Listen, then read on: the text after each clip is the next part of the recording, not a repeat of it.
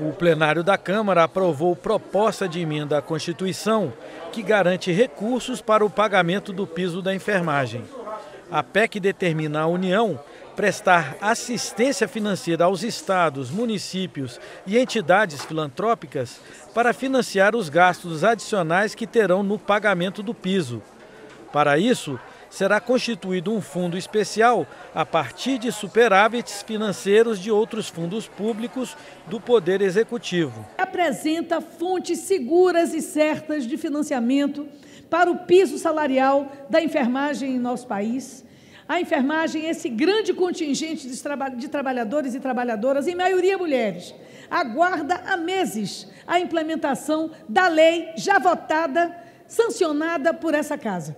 Ao mesmo tempo, com suporte constitucional, garantindo também o direito aos servidores públicos que trabalham na área.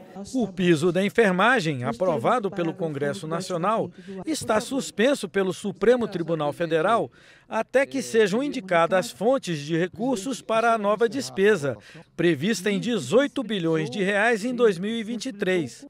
A PEC segue agora para votação no Senado.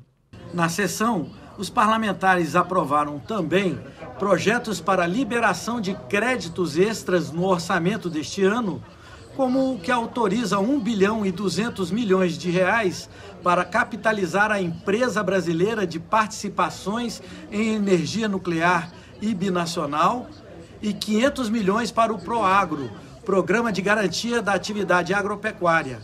Foram apreciados ainda vetos do presidente da República a projetos aprovados pelo Congresso, Sete vetos foram derrubados e os dispositivos vão se transformar em leis. Nós estamos falando de um segmento, segmentos lotéricos, que tem mais de 13 mil pontos de atendimento em todo o Brasil.